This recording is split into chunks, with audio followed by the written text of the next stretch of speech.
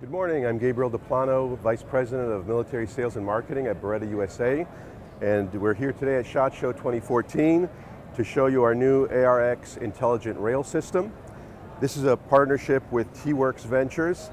Uh, Beretta and T.Workx are developing a very, very innovative system that allows you to transfer both data and power through the rails of the assault rifle to any accessory that is attached to those rails. This gives us many, many advantages, uh, especially to the warfighter. The first thing we can do is we can integrate, in the buttstock in this case, we can integrate standard AA battery pack. The AA is important because that battery can be found anywhere in the world very easily and sourced very easily. So it, really minimizes the logistics, logistic impact uh, of the system. This battery pack, as you can see from this breadboard, would basically then power the rail.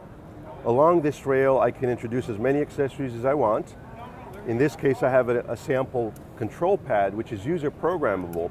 So the user can, in this case, program up to four buttons to do certain things. In this case, we have a mock-up, we have a flashlight up front. By simply pushing a battery, uh, excuse me, pushing the button, as you can see, you can easily activate whatever is attached to the rail. The, another great advantage is that by having these accessories powered by a central battery pack, you now are able to remove the battery housings on the accessories. So you'll be reducing weight. So in this case, you can see here, we have a Surefire battery, uh, flashlight head attached to our adapter, and you'll be able to use existing uh, legacy products such as the Surefire or other accessories that are on the market and simply attach them very easily to the rail wherever you need it. Another great advantage of the system is that now instead of having four accessories on your gun with four different batteries, some of which are, are uh, you know, can be exotic batteries that are not easy to obtain, I now have again standard AA batteries that, that you can find anywhere. I mentioned power a lot. Let me also talk to you about data. The great thing about this rail is that you'll be able to interconnect all your accessories. So an obvious example would be a laser rangefinder. A laser rangefinder, which I can position in the front rail, will now be able to communicate the range data back to my optics. For, for example, we have a, a scope on, um, our sister company Steiner has a scope in the works with a disturbed reticle. That disturbed reticle will be able to move and adjust based on the range of the target. Another application for data transfer would be by using the transferring the video signal or an image back to a transmitter, Wi-Fi or Bluetooth transmitter, which would could then transfer that data off gun to either a head-mounted unit uh, of the soldier or possibly even back, uh, back to headquarters.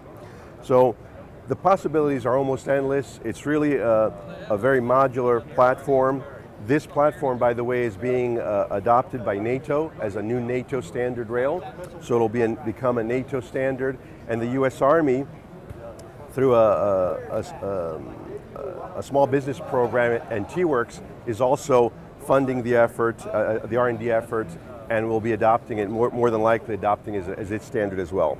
So what that means obviously is, is standardization so that all industry then can focus on making accessories for these uh, intelligent rails.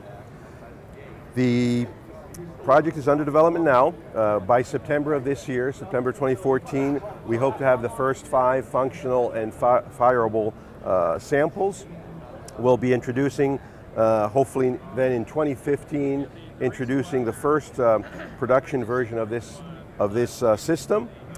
The, what you see here are different control panel options. These are obviously mock-ups just for form, uh, form factor mock-ups. These will allow us to decide and also give the user the ability to either select different types of control panels, again, all of them user, user programmable for the position. So in this case, for example, we have one pad here that would be activated with your thumb, with your support thumb, and you could activate up to three buttons.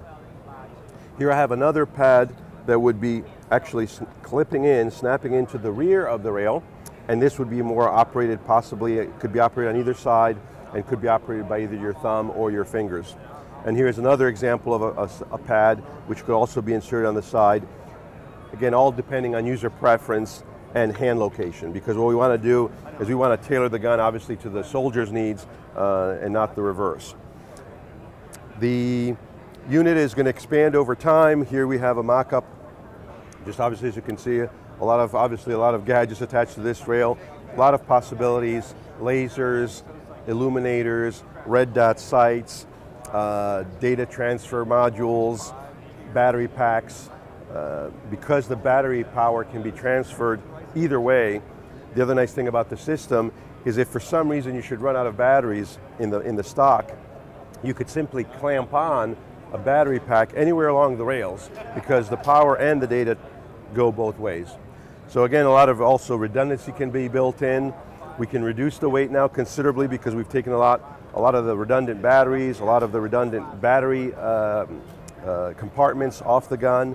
We've integrated everything into the design of the gun, and so there are no wires, nothing hanging out, and no extra weight uh, being added. So overall, what, we'll, what we have here is a very, very modular electronic uh, system that will give the warfighter extra capabilities in the future.